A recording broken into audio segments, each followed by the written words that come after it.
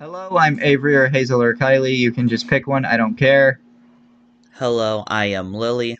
And welcome to the From the Closet podcast. Today we are covering The Fifth Wave. Uh, so, obviously, this podcast will contain spoilers for said movie. I'm also, it's probably also going to contain spoilers for the book because the plots are pretty much the same. Uh, so, if you would like. However, i- i- If you, you know, one caveat. Yeah. Um, if you would like to avoid those spoilers, there will be a link in the description below to the Just Watch page for this movie, um, which itself will have links to every platform you can rent, purchase, or stream this movie on, with price comparisons for renting and purchasing. Uh, well, If you like to avoid the spoilers for the book, go to your uh, nearest bookstore. yeah, like, uh, sorry, we can't fucking help you with that. I mean, we could. I just don't want to. Wow. I I- will- I- Avory being lazy. Yeah, I mean, it's work that I'm probably going to do eventually because I may I am very very likely to cover this book on off the shelf. So, I mean, to be fair, I'm the person that's making the descriptions. Though I just, I don't think there is a um, central place where uh, it tells you where to buy books. Is there? I usually just link the Goodreads page. Um Hmm. and the Goodreads page will usually have a link on a- to Amazon or somewhere else where you can purchase a book. I see, I see. Yeah. At least I think that's what I do. You think it's what you do? I mean, I've only like actually fully released one episode of Off the Shelf, and then there's another on Patreon. So, yeah. Um, Huh. But yeah. Um, speaking of which, yeah, uh, down in the description you'll find a link to our Patreon where you can vote on future episodes of this show, as well as get access to episodes before they release and early access to episodes of our sister show, Off the Shelf. Which, if you haven't Well, guessed like by we were now, just talking about that. yeah, and if you haven't guessed by now, Off the Shelf is a podcast about books, and it is exclusive to YouTube and Patreon. Also, in the description, you will find a link to Anchor.fm, which is now Spotify for podcasters, and that page will have links to every platform that they, this podcast is on. God, I could not words right there. Um, Word hard. Yeah, words. It wordsing is hard. uh, but uh, the Spotify for Podcasters link will also have links to our Instagram and Twitter, where you can be notified when we release new episodes. Um, Lily, can you spin the wheel to determine what we're covering tomorrow? Yes, I can. Are you sure? Well, it's spinning right now. What do you, what do you want from me? uh, a sandwich. No, but you get Blade Runner. Okay. Um, that's interesting. I for I legit forgot Blade Runner was on the wheel. I wish to forget that Blade Runner was a thing. I can't imagine But it's that anyway, I can't imagine it's that bad. I mean, it's pretty universally praised, so it's just I had to watch it for a school assignment. Speaking of, if I can pull some strings, I might. Now, I'm not making any promises, but I could have a guest um, appear who also seen the movie um, in school. We never had the same class, but he was like right after mine. All right. I mean, I'd be down for that. Like, it would be our first guest on the show, and I've wanted to have guests on the show for a long time. Yeah, um, episode. Yeah, we're absolutely uh, past episode 50, so. No, sorry, 150. Yeah, Yeah, we are well past 150. I think. I think. I think I recently saw we released 154. Um, and by the time this is out, it's going to be a lot further. no, um, we recently released. Let me see, last one. 148. And w- either way, we're gonna be well past 150 by the time this episode comes out. Yeah. But anyway, um, please get out if you'd like to avoid spoilers, because we are now going to begin talking about the movie. All right, so, um, I have one question. sure. So when you okay, actually, I guess to uh, answer this question, I need to ask another question. Did you watch the? Did you watch this first, or did you read the book first? First, or have you ever read the book? I read the book long before it was even announced that there would be a movie adaptation. Okay, so you probably can't answer the question well, but I'm just gonna ask anyway. Did you see the um the plot? Was it even supposed to be a plot twist that um the fifth wave were the aliens trying to um get the kids to kill everyone? I didn't see that coming, no. And it I was just- also I it- didn't get like all of that, but like I just totally saw that the um, army was the aliens. Yeah. Um so before we like really dive in too deep with this movie, Hmm. I want to talk about how it's it's by sheer complete luck that we were able to cover this movie in the first place.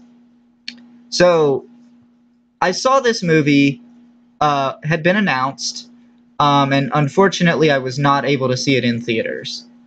Um, and it didn't come out on streaming services when the movie like finally became available for like home viewing, and I was like, "Hmm, god damn it, I want to watch this fucking movie." um, so eventually, I ended up buying the Blu-ray, and it was just a Blu-ray. There was no DVD in there in at all. Um, and earlier today, when I watched this movie uh, on YouTube through like Movies Anywhere and shit, uh, I went and checked my Blu-ray copy, and there is nowhere on that box that it says a digital code was inside. But there for sure was a digital code inside. I'm not even sure if it was supposed to be there. Huh. Wait, really? Yeah. I've bought movies before that were supposed to have digital codes and didn't. So it wouldn't surprise me too much if a movie wasn't supposed to have a digital code in it and did anyway. And you got just a Blu-ray copy. Yeah. Huh. And I know, you know, you got a digital code because that's how we fucking watched it. Yeah. Like we were sh- like we're sharing like my Vudu and her Movies Anywhere account. Um and movies anywhere just branches off to other things. yeah. So like for me, Like I watch iTunes. I watched it on like YouTube uh cuz we have her Movies Anywhere account connected to my my Google account. Um which allows me to watch this movie on YouTube because I own it on Vudu. Allows you to watch a lot of other movies, like Puss in Boots. Yeah, I might rewatch that. but um I saw this movie like maybe once or twice uh when I bought it and then I didn't watch it again uh until today.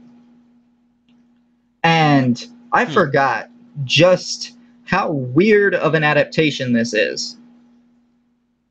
So, I'm going to start off by saying the book is amazing. And it does have very much the same story. But the thing that makes the book so much better than the movie is the characters.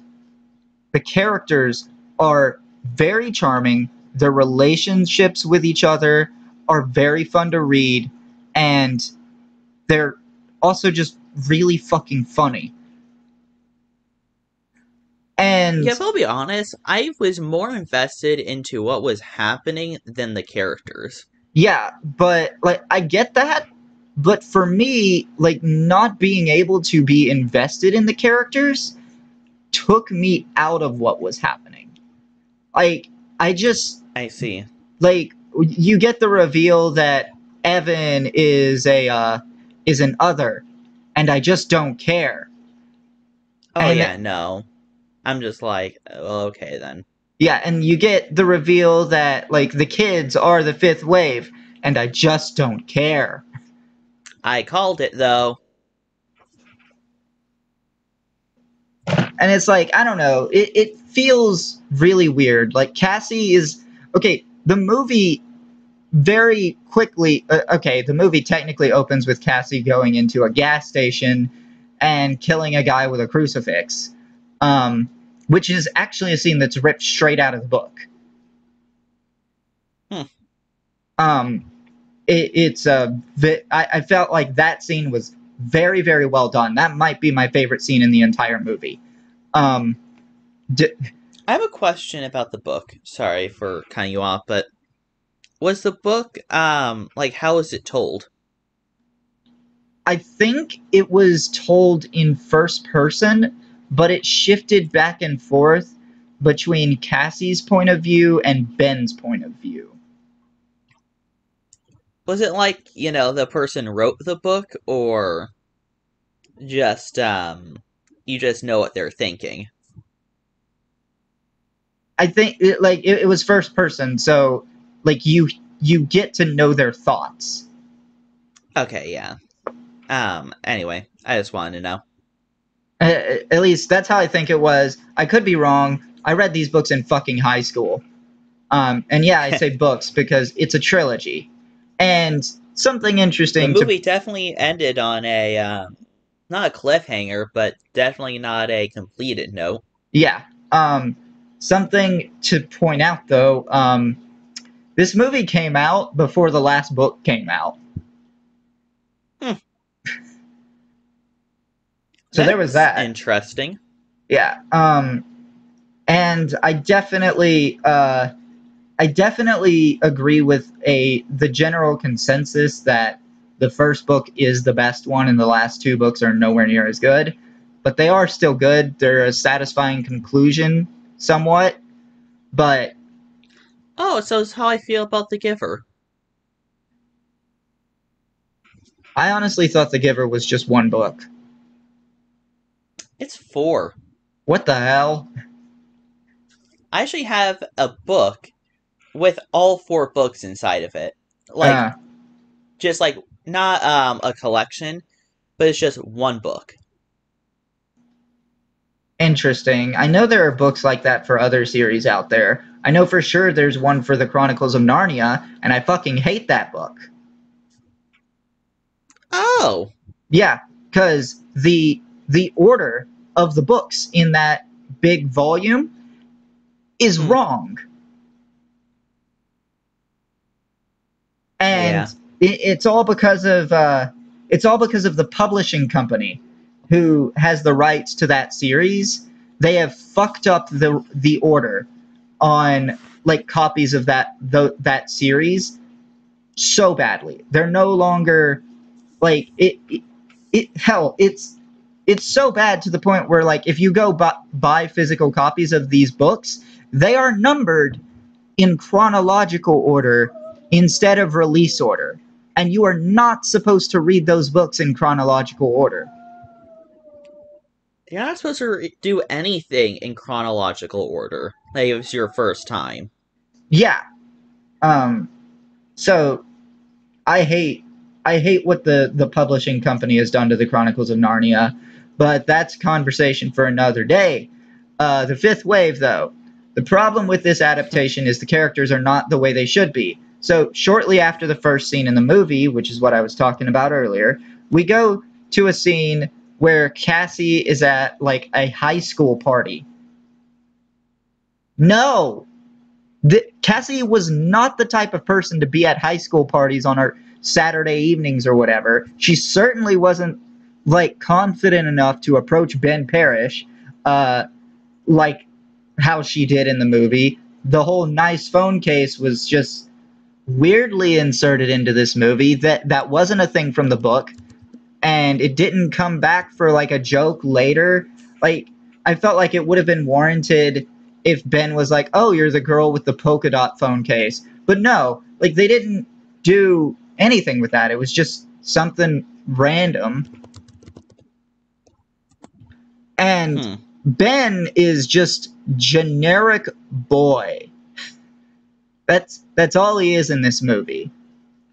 Whereas like in the book he's mostly characterized through like his relationship with sam and how he kind of takes on a big brother role to sam um, when they're at the uh, army base or whatever.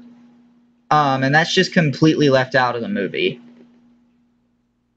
Like yeah they have conversations but it didn't really feel like a brotherly relationship uh, like it did in the book and then I see. you have evan walker.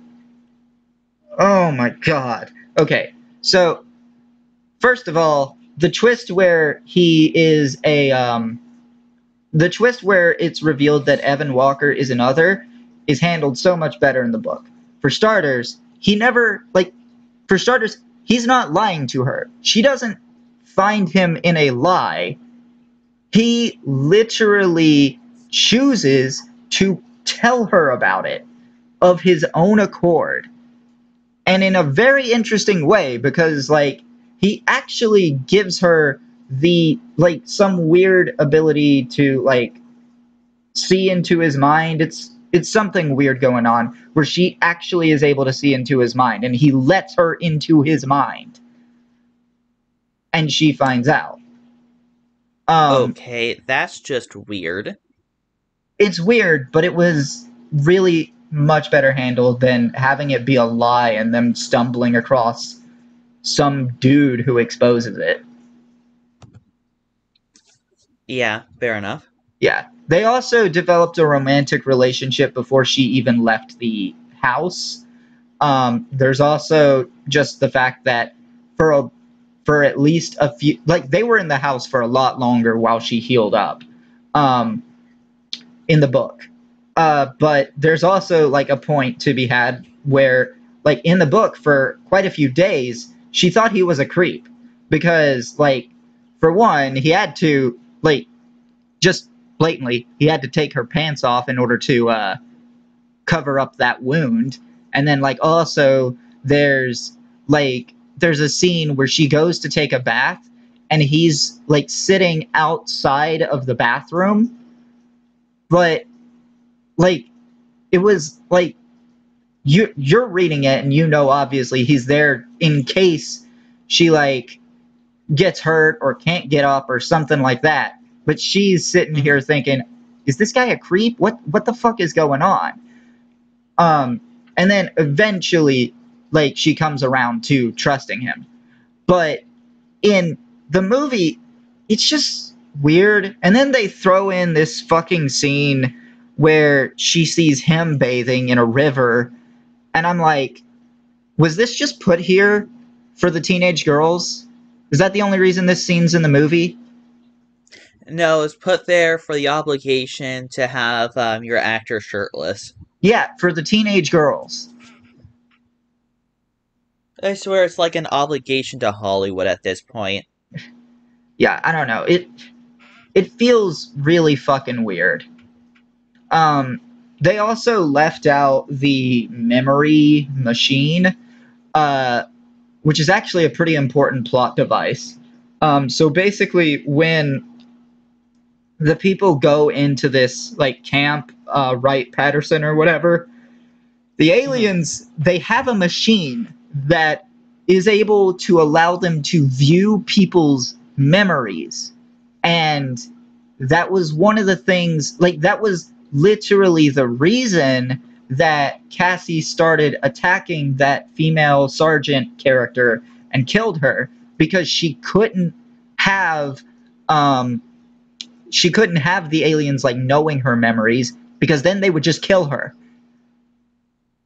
And it was also a concern it, it was also the reason ben ends up running from like the commander dude because the commander had said that he was going to put Ben back through that machine so that he could see Ben's memories of the mission that happened. Hmm.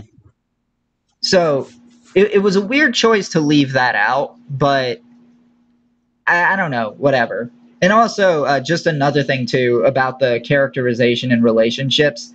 Uh, there's this really awkward moment where like Evan shows up in the base, and then like Cassie just makes out with him in front of Ben, and that I I I'm, I could be wrong, but I don't think that was in the book.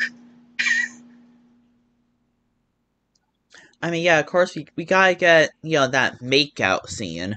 We got to have a weird love triangle moment that wasn't there. Yeah, I don't know. Ugh, this is uh obviously there's a reason I'm not commenting a lot because I never read the book, so I'm just absorbing all this information. yeah, I just want to talk about these uh, uh, the the stuff here because like I think it's important to understand why I'm probably going to be rating this movie lower than Lily is. Um, just as someone who's read the book. Uh, one other character I want to point out is Ringer. Uh, Ringer is supposed to be a badass, not an emo teen. I will be honest, like obviously, you know, the characters will be worse for you because they're supposed to be different. You know they're supposed to be different. Yeah, Even still, I'm still like I just don't care a lot about these characters. I can they're definitely were not that um well written in this movie. no, they they for sure weren't. Um, honestly, Even I can tell that.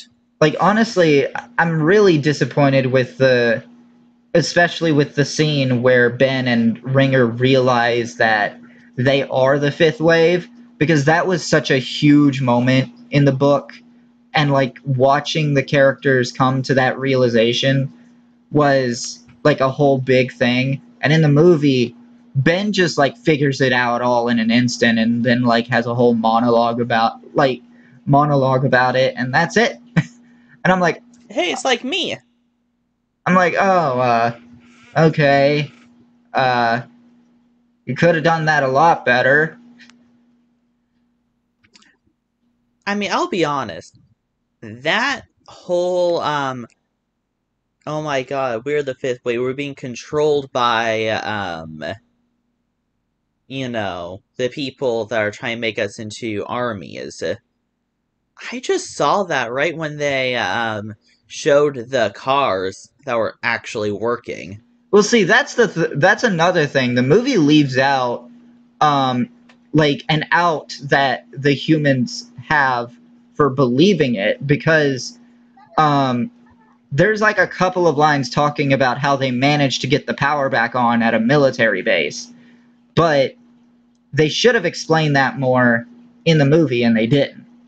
Um, and yeah, also just got me immediately suspicious about um you know, I bet that the aliens could, you know, easily just have working cars. Yeah, and you know, just another thing too that is a problem with both the book and the movie. An EMP Hmm. like that would not be able to kill. uh, For starters, it would not be able to kill all electricity on the planet. There are there are things that are just going to be in places that are like proofed against electromagnetic pulses. But then also, there's the issue of a lot of older vehicles would still be able to run because they don't have any electrical components at all. I mean, also, you only see like one um ship, right? Yeah. So to do an EMP around the entire world, it's just impossible. Yeah, it, it, it well, scientifically speaking, with the technology we have, it's impossible. Theoretically, they have better technology and can send out an EMP that encompasses the entire planet. sure, I can I can get past that. It's just the fact that there are things that like there are literally things that block electromagnetic pulses, and that's never addressed in the books. Um, and then there are vehicles that don't rely on any electrical components at all that should still be working, and that's also never addressed in the books. Also, are there more waves in the other books? No, I don't think so. Hmm. I, I granted I have only read the other two books once, but I do not believe there were other waves beyond that. I think um, I think the fifth wave just kind of kept going, and the book was like about like Ben and Cassie and their whole crew trying to stop it, and then eventually like Evan shows up again, and that's another thing too. Um,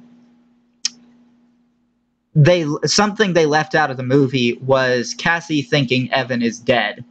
Uh, not sure why they left that out, but uh, at the end of the book, Cassie believes Evan is dead. The reader is left unsure.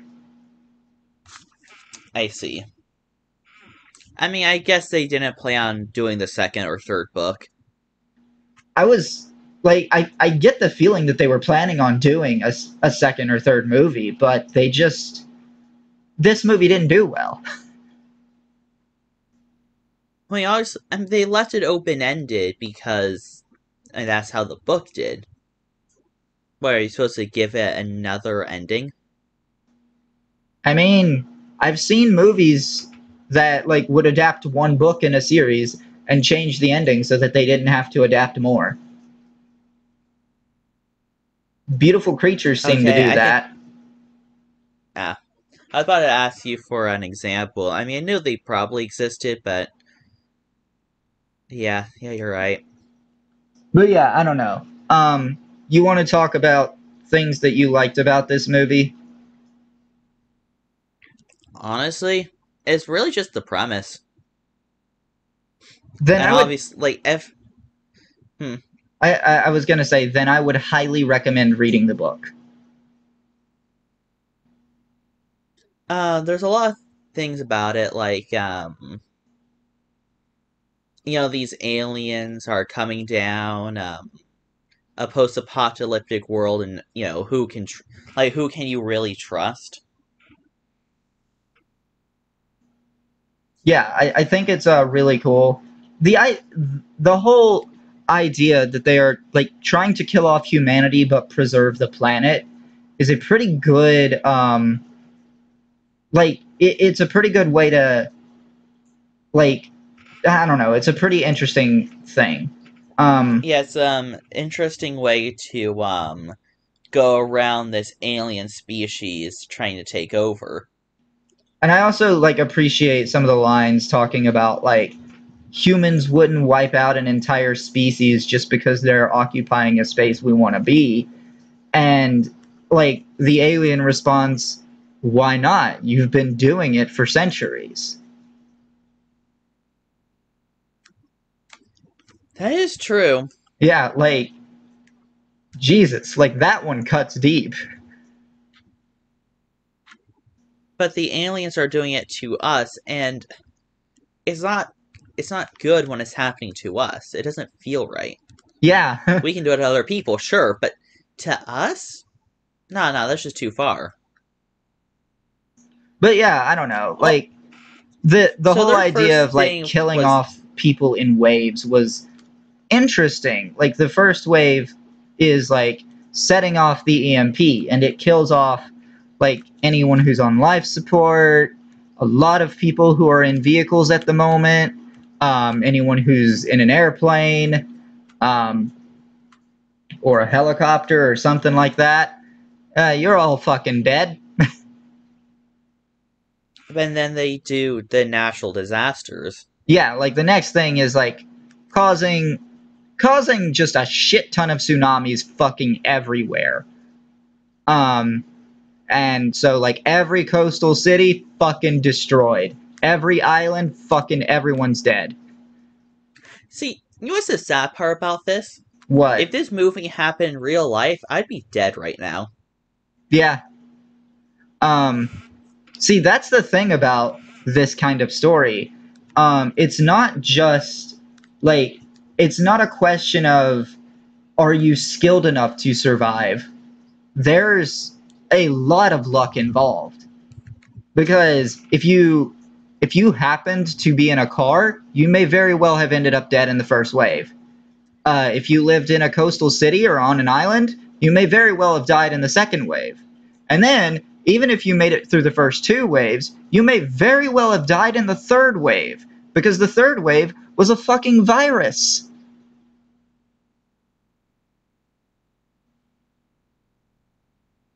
Though, I mean, where I live, there's um a lot of mountains as well. So, it obviously you can never prepare for it. But if you did, just go to the mountains. You'd be safe. Maybe. I mean, like Cassie and Sam only survived because they only had the Great Lake to worry about. Um, and then they just got lucky to in- never never get the virus. Pretty damn Yeah, lucky too, because their mother was a healthcare worker.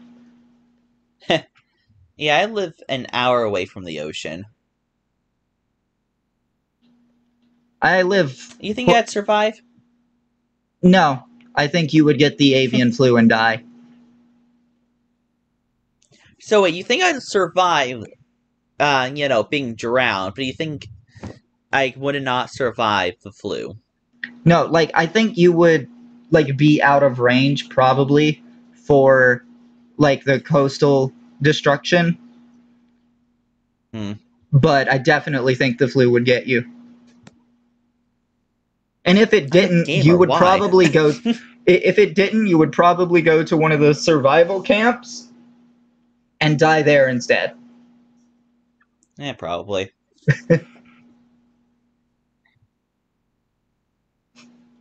But yeah, uh, I don't know. Like this movie, it it could have been better, and I'm disappointed it wasn't. The book is fucking great.